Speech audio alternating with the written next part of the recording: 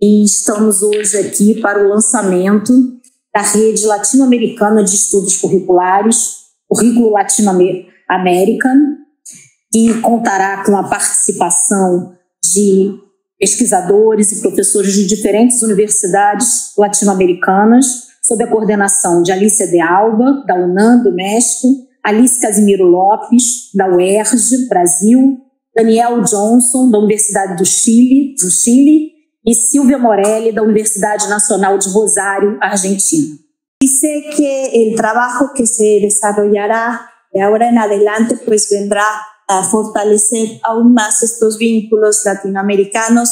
Me han comentado con lujo de detalles eh, cuál va a ser el plan de trabajo y me llena pues de mucho entusiasmo. ¿no? Estaremos reforzando las actividades de movilidad, de intercambio entre los diferentes países que conforman esta red. Realmente es un motivo de, de mucha alegría, mucha alegría para, para nosotros, para nosotras eh, esta tarde, porque estamos eh, empezando, digamos, una idea que una idea que es fruto de múltiples encuentros académicos Hoy eh, establecer, consolidar, confirmar, instituir la red latinoamericana de currículum, eh, creo que es importante porque empieza a identificar el continente de otra manera, ¿no? Sur-sur, norte-sur, y posicionar América Latina inclusive más allá